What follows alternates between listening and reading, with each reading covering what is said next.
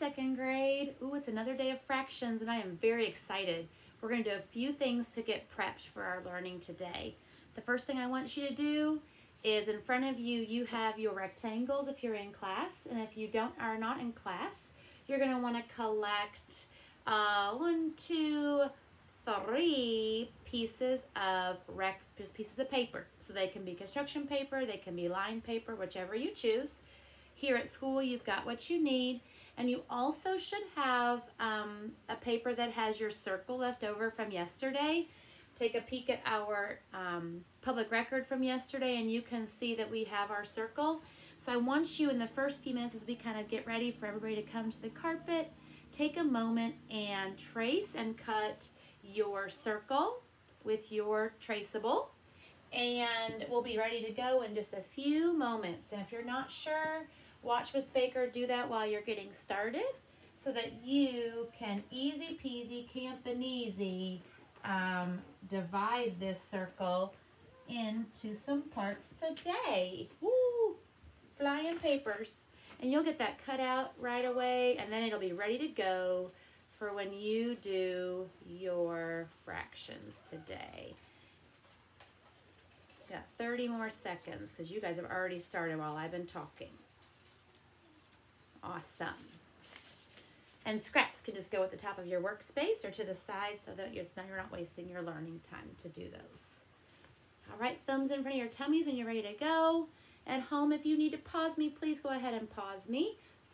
And we're going to get started with our target. Let's see what we're going to divide up today. I can partition a circle and rectangle into three equal parts.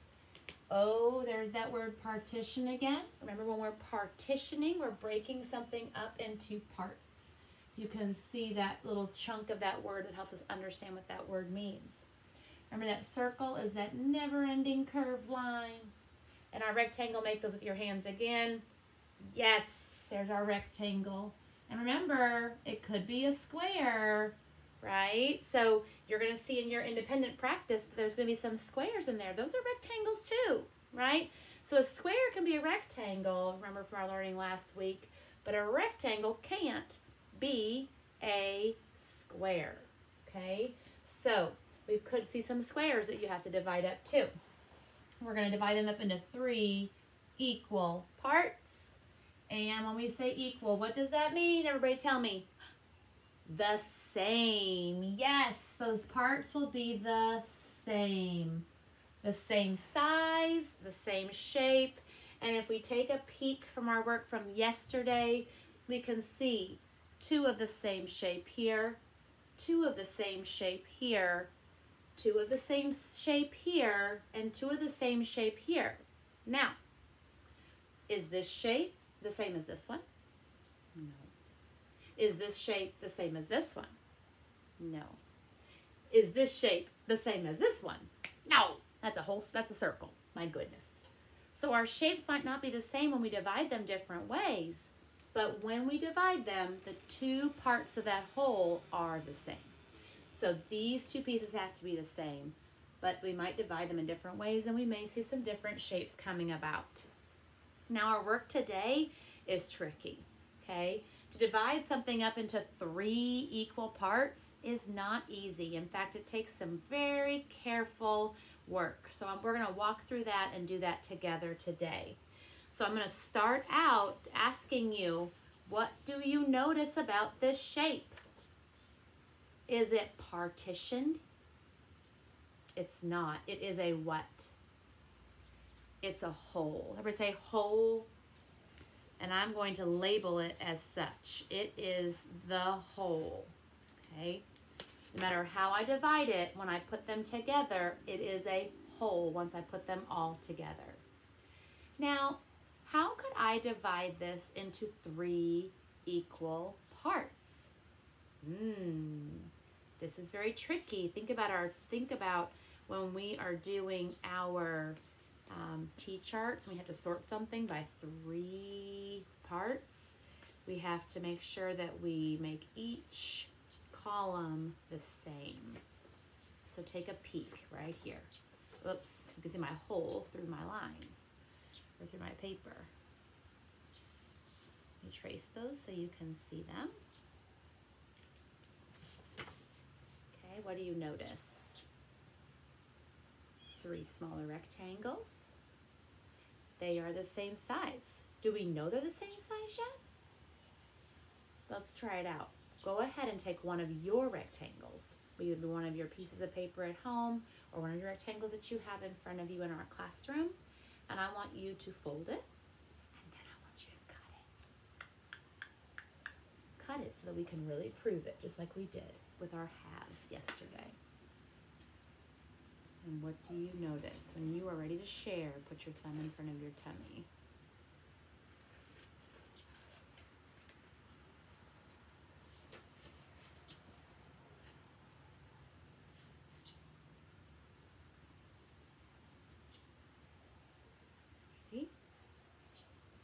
What do you notice? Got my three parts. When I stack them on top of each other, what do you notice? Did you notice the same thing about yours? Okay. How about you? Not quite. Close. So when you are going to go back and divide them, when you're folding them, one thing you can do, and you can do it when you fold it the other way too, is you can fold it inside of each other. Almost make like a little taco. And do a little half fold. It's kind of tricky, but you don't push it down as hard. You don't crease it. And then you can fold the other one over and have it match up. And when you fold the other one to match it up, then you can crease them. And it might make it a little bit easier. Okay? Gotta line them up just right. And then when they fold in, they look kind of like a little taco or a little enchilada. Okay. Can we think of another way we can fold those? Ooh. Can we think of another way we can fold those while I'm taping this up? How else can we show three equal parts? Oh, I'm seeing some another way coming out. Hmm.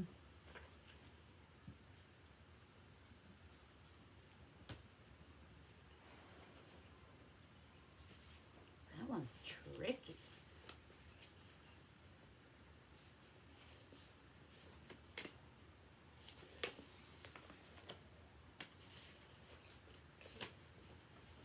Have that one too? Some friends are some friends are using their pencils first and then are trying to fold them and they're using those pencils to kind of guide them. We can always erase a pencil, can't we? It's hard to erase a fold. okay. What way do you have? Whoa. Can you see it out there, friends?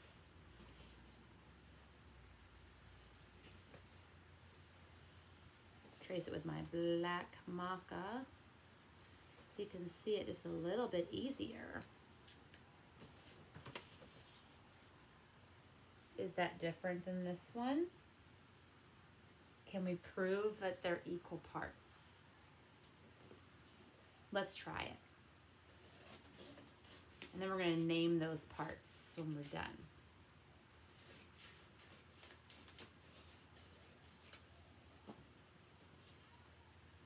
They on top of each other? Ta-da! Are they the same size? They are. Oh, okay. Let's tape them up, huh? And you're going to tuck them into yours too, right? And hold them on for future reference. We got little Ziploc baggies at school for these. If you want to at home get a little Ziploc bag, that might be helpful so you can hold on to them because we're going to need them for other lessons too. Being a little tricky today, huh? Okay. Is there any other way we can show three equal parts of a whole? There's that rectangle again. We put them together, and what does it make? A whole. So we have part one, part two, part three, and they go together to make one whole. Very nice. Can I show you a couple that I have? And I want you to I want you to tell me if they are if they will make um, if they're divided into three equal parts or not. Are you ready? This one's kind of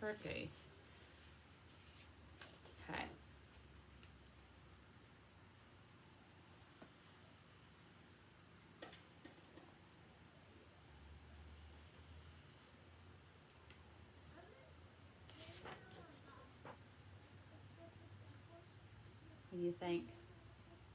Equal parts? One, two, three. There's three parts. Are they equal? Some say yes, some say no. Shall we try it out?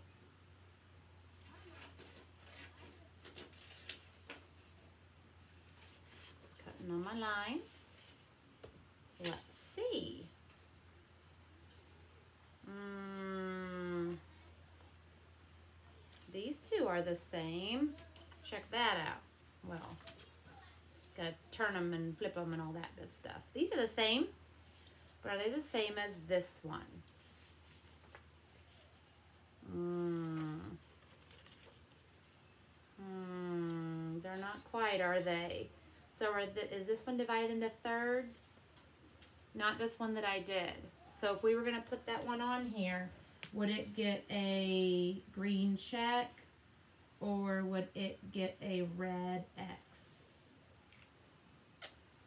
Mm, wah, wah. Nope. We got our green check here. And we got our green check here. But we got our red X right here. What about this one?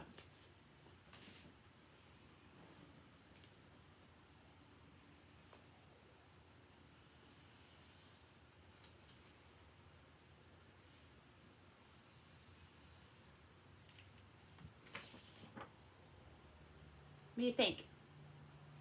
Equal, not equal? Some say these two are the same. What with this guy? Should we try it out? Let's prove it. I love when we can cut and with when we can when we can fold and cut these because it helps us really be able to prove it so much easier. Okay. Look at these. They're about the same. I probably could have made them pretty close if I would have spent more time drawing them. But Hmm. Mm, I'm thinking that even if I were to cut this up and chop suey it into smaller parts, it would not leave off a little bit of thingy in the bottom. But there's still this big chunk left over. So I'm thinking, no, I agree. I'm seeing some wiggle waggles. That's a red X, isn't it? What have we forgotten about? I just heard somebody say, but what about our circles? Let's check out our circle. Can you all find your circle for me? Find your circle that you cut out at the beginning of our time today. Whoa, la, la, la. How do we divide this into equal parts? Oh, this is where it gets really tricky when we're dividing it into three equal parts. Can I give you a fancy word for three equal parts? when we had our two equal parts, they were called halves. I also say halves. Halves. Okay, those two equal parts were called halves. Each one is a half, so they're two halves. Okay, now our three is just as simple as a word. Okay, we're going to do this one in blue, and we're going to call those thirds. Everybody say thirds. Thirds. Yes. Oh, look. It's a lot like three, doesn't it? Three thirds. Here's a third. Here's a third. Here's a third. And those three thirds makes a whole. Same thing here. Each of these is a third when they're divided into three equal parts. This is not a third, is it? It's not equal. Are these thirds? No, they're not, are they? that trick with the thirds, in order for it to be a third, it has to be three equal parts. Okay, there has to be one of those three equal parts. So I'm to draw some of our circles and I want you to tell me if you think it's divided equally. Are you ready? Do what we did with our rectangle, right? What do you think? Thirds divided into three equal parts? Over here says, no way, Jose. Why not? That one in the middle is nice and big. Those are small, aren't they? Yeah. That's not divided into thirds. Can I actually show you how we divide up? Yeah. I know that you guys have probably seen something like this before. But I just heard, ooh, it was like a kind of like a pie. Yes. So in order for us to make a pie, we have to do a couple of cool things here. One, we're going to take our circle and we're going to find the middle of it the best we can. Okay? And that middle, we're just going to make a little dot in that middle. Okay? Everybody see my middle? Now, we're going to start in the middle of the top and we're going to draw a line down to that middle spot. Everybody see that? I know the pencil because I need to be able to erase sometimes. Now, I'm going to turn it and I'm going to find that middle of another spot. And I make it like a pie. Now, it's not probably perfect, but it's close. In fact, as I look at that, this one looks a little bit bigger than this one and this one. So what I'm going to do is I'm going to move this and make it a little bit smaller. And then I'm gonna move, none of my pencils have good erasers on them. I'm glad your guys' do. Move this one a little bit more this way. So you kind of got to play with it.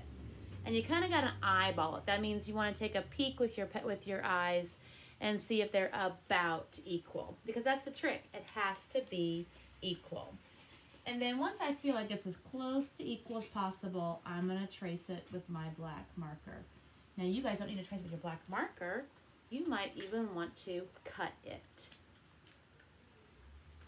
This is a tricky way. So you got to eyeball it a little bit. You can tell these are not the same size. They're not the same shape. And we know that they have to be the same shape when they're in when they're trying to make a hole, right?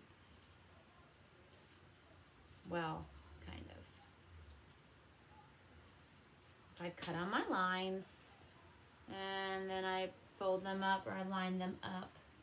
I have about the same shape. Okay? So, the trick is with our thirds is to try to put them together and to divide them into three equal pieces. I could have even done, gotten a little bit closer. Mine were not perfect. Okay? You're finding the middle and you're getting as close as you can to make them as equal as possible because that's what you have to have when you have a circle that's divided into thirds. Okay, they have to be in three equal parts. Okie? That's tricky, isn't it? Absolutely.